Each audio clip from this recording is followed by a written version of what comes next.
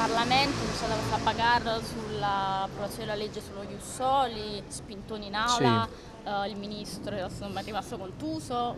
Che, come valuta questa situazione? Eh, se io stessi in Parlamento prendere la parola per dire arriviamo molto tardi, scusate il ritardo, è una, è una legge di civiltà, dovrebbero votarla tutti Capisco che adesso stanno bene insieme Lega, Casa Pound, Movimento 5 Stelle, Fratelli d'Italia. Finalmente si comprende chi sta per, con le libertà civili, chi sta per la Costituzione, chi sta per la giustizia, chi invece fa propaganda o cerca il consenso del momento su un tema tra l'altro molto delicato che ci sarebbe poco da strumentalizzare. Questi sono i temi dove sono in gioco le libertà, i diritti, la giustizia e la solidarietà, non dovresti andare dietro al consenso, quindi io mi auguro che il Parlamento approvi quanto prima questa legge, che al netto che tutto, ogni legge può essere migliorabile, può essere perfettibile, ma che innanzitutto passasse il principio che le persone che vivono, che nascono nella nostra città possano avere la cittadinanza, possano votare.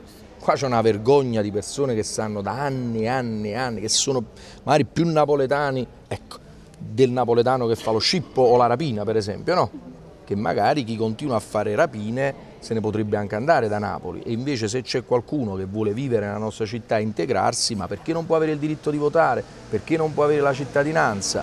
Quindi credo che abbiamo sancito definitivamente la svolta a destra del Movimento 5 Stelle.